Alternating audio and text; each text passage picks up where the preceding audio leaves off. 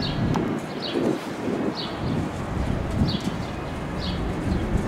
you.